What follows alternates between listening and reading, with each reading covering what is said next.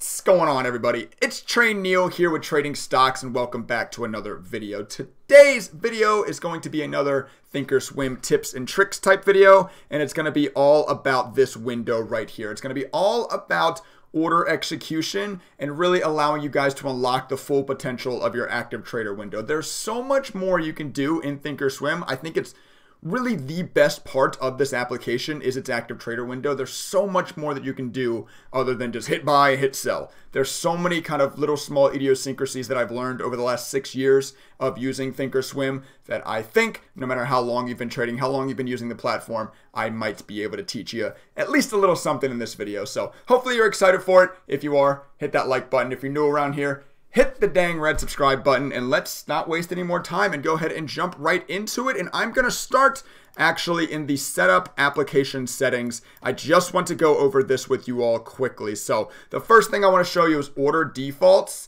Uh, obviously default order type limits, blah, blah, blah. The cool thing I want to show you here is I get asked all the time, Trey, how do you set quantities? How do you set these quantities on these buttons? Uh, by the way, if you don't know, I guess I'm gonna cover it quickly. When you hit these buttons, these are what changes, like insta change your quantity that you're trading. Uh, Trey, how do you change those buttons? I clicked the wrong thing. Uh, and you do that via where I just was application settings order default and this has presets you know 500 200 so if I click 500 apply it's going to set up every 500 and these are not fully customizable you can only do them kind of like I just did there. You can only do them to a certain degree, but you can't type in numbers here. Like I can come type in 2, hit apply, and it's going to go 2, 6, 10, 20, 40. So, uh, you know, it's not, you don't only have to go by what's in the drop down. Um, but it's not fully customizable to that degree. So that is something that's very important. I'm to put mine on back what it was. And then also your order quantity in, in uh, increments. You can also change this to whatever you want. And what that's to do is it's to change. So you see how every time I click plus or minus, it's adding, adding or deleting 100. That's what that number does. Okay. That's kind of the boring part. Get that out of the way. But it's still very useful. I get asked, I think that might be the number one question. Trey, how do you change these numbers? That's how you do that. Now, I want to go ahead and jump into the settings of my active trader window because this is not, if you just downloaded Thinkorswim, this is not what your active trade window is going to look like. I think it has like market buy, market sell, and that's kind of it. I don't remember the, what the exact default was, but uh, you do. So I just hit the cog on the active trade window there, and you can bring over buttons. You can see mine here. I have buy, ask, buy, bid, sell, ask, sell, bid. I personally think I am a scalper. I, am in and out of trades very fast. You can actually see a trade I just took right here. I was literally setting up for this video, uh, taking notes for this video, and I saw INM going off. I caught a little trade though. I wish it would have gone through resistance, but when I recognized it wasn't, I took my little profits right before the dump. Now we're getting off topic. Um, but I think it's very important to be able to buy buy the bid, uh, buy the ask, or sell the bid, sell the ask, dependent on what kind of situation I'm in. So I have all those here. And you do that just by typing buy ask, click add items, and it'll add it to your lines here.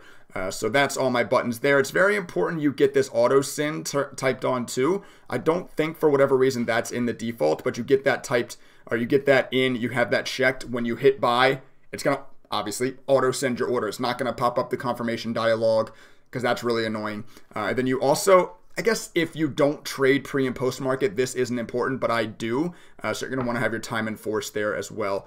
Um, and you can see the rest of my settings there. Obviously, you guys can stop and screenshot what you want.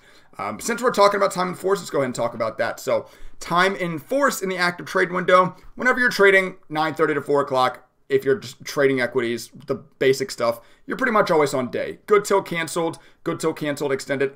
I don't use good till canceled orders. That means that they will stay open if I want to buy INM if it drops below $2, I want to buy INM at 179. By the way, I'm about to show you a trick. I can go out and set, let me put, just in case some, some this stock gets tricky on me. Let me do one share, uh, but I can go. So I'm going to go ahead and set a buy, a limit order, bang, 175. That is going to cancel at the end of the day. It's a day order. If I did that same thing on good till canceled, it would stay open for as long as it needed to until it got filled. Uh, so that's what the difference is there. And then extended, this is what you need to be on if you're trading pre-market or post-market. So really time after hours trading, you're going to need to be on extended trading for that. And obviously good till canceled, extended, same thing for extended hours uh, as the other good till canceled. So that is the time in force there. But now let's let's uh, we're, we're gonna keep segueing into we're kind of using uh, the conversation to segue here. Let's talk about what I just did. Trey, how did you just place your order like that? That was that was weird. I don't know. You didn't hit any buttons. How did your how was your order out there? If I come in, so the stock is currently dropping down to 207. Say I want to buy the stock, I'm gonna uh, this is not a realistic situation because I don't actually want to get filled. Uh, but say I want to buy the stock at 179 and I don't want to buy any higher than 179. I don't need to go to the trade window, type in 179, place the order, do all that. No, you just come to your active trade window and you just click this little box right here. So where it's showing the bid size, you click right in here, it throws your order out there. Now I have an order at 178, whatever I put it at. Now, if the stock drops that low, I will get filled. Um, and it's a limit order as well. So it's putting out, that's a limit buy order. If the stock price gets to that price, it will fill you as many shares as it can uh, no higher than that price. That's what that does. Also, while you have orders on your chart like this, so I just threw this order out, say I changed, you know, the stock starts to bounce, I want to move my order up a little bit. All I have to do, grab this, I can just grab this on the screen and I can drag it around. I can drag this to other prices, move it down, move it up. This it's this is going to bring up a confirmation window. You hit send. Now my order is sitting at 183. You can also see it sitting there uh, at the buy order there. Now, I want to cancel this order. I don't want to take this order. I'm just going to come up, hit the cancel all button. That clears all my open orders. That's what the cancel all button does. Same thing, other direction. A lot of people don't know this. Say I want to buy this stock. If it breaks 237, I'm a high a day breakout trader. I want to I'm going to buy this stock if it breaks 237. Bang.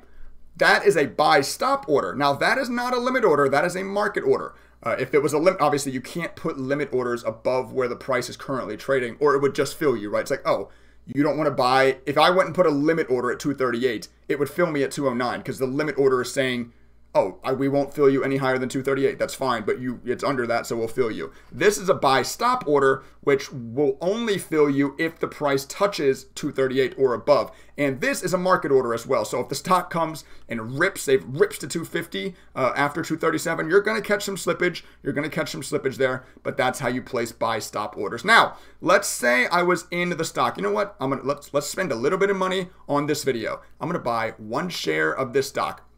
Bada bing, bada boom, hit join the bid. I'm not filled yet, by the way. You can see your order sitting there waiting to get filled. I'm in. I'm in one share of INM at 207. In no way a real trade. I'm just showing you guys. Uh, but say I want to long this trade and I want to stop out. Now I'm now I'm long in this position. If it goes below two dollars, I want to stop out.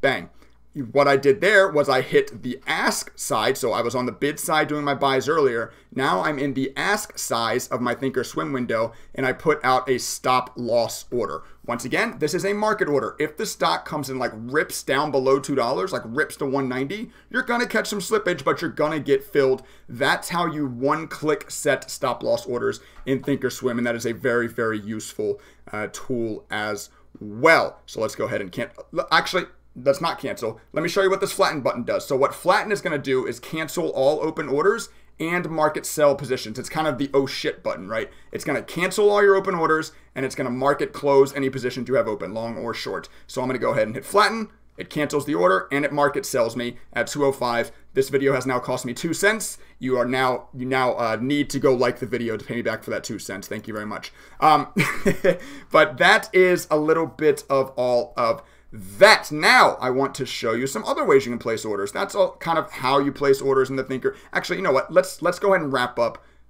the the uh, active trader window. Sorry. Let's go ahead and wrap up the active trader window with the templates here as well. This is the last box on this screen that I haven't talked about yet. What I've been doing, placing single orders. Simple. You buy, you sell. That's a single order. It's what 99% of us do. What you can't do with single orders, I see this question asked on the internet a lot. When I was in that one share, let's actually do it again. So when I'm in this one share of, okay, let me just buy the ask so I get in. I'm in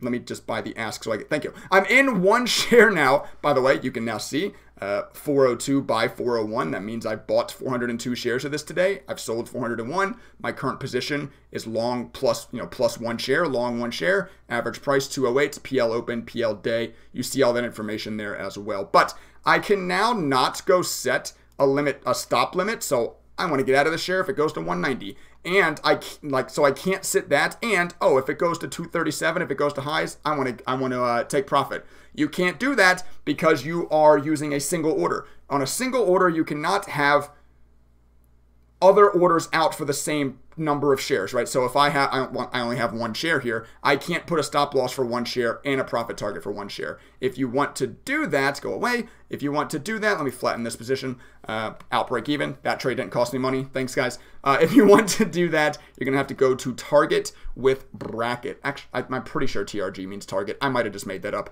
Go to TRG with bracket, um, and from here you're gonna set. So it might make a little bit of sense.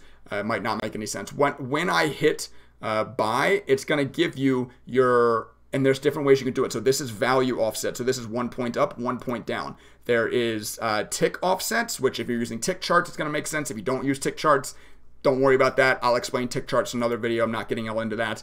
Um, so there's percent changes as well. So you can do, you know, 1% up or one point up. For this scenario, let's just do one point because uh, I want to show you kind of I think the best way to handle this too. So say I want to get filled. I'm going to put a buy stop order. So I want to get filled one share if INM breaks 238. Bang. Look, it instantly gives me my 238 order is out there and I have a stop limit order at 138 and a profit at 338. Obviously, that's insane. I don't expect the stock to make necessarily that big of a move if it breaks out. So if it comes to 250, I want to take profits and once I enter, if it comes back down below 222, I want to exit. I think that's the best way to handle that. You guys saw how I how, how I did that. So I put a template out there with pretty large, just, to throw the point out there, whatever. Just give me my template, and then from the screen, you can kind of drag your orders around. Not that I trade with this template very often. I pretty much always take single trades. I actually don't think I've ever taken a real money trade with a bracket like this, but I some of you guys might like that. Some of you guys might want to have stops and profit targets on the same shares that you're trading, and that is how you do that. So now I'm going to go ahead and hit cancel all there. Going to show you another way you can enter orders.